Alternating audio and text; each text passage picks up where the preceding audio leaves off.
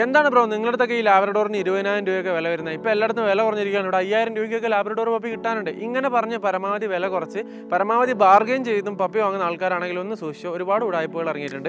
ഇപ്പം നിങ്ങൾ സ്ക്രീനിൽ കണ്ടുകൊണ്ടിരിക്കുന്ന പപ്പീന്റെ വീഡിയോ എന്ന് പറയുന്നത് എന്റെ ഫ്രണ്ട് ഒരു യൂട്യൂബ് ചാനൽ വീഡിയോ കണ്ടിട്ട് പത്തനംതിട്ടയിൽ നിന്ന് കാലിക്കറ്റേക്ക് കോൺടാക്ട് ചെയ്തിട്ട് കിട്ടിയ കയ്യിൽ കിട്ടിയ പപ്പിയാണ് കേട്ടോ.